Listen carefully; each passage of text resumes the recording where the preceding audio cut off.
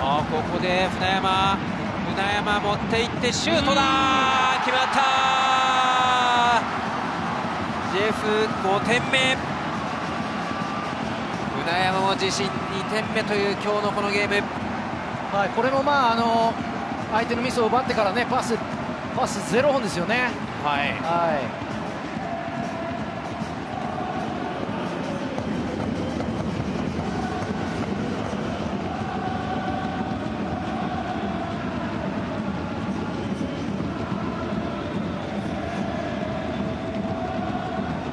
はい、でも船山ゴールに向かったプレー良かったと思いますね。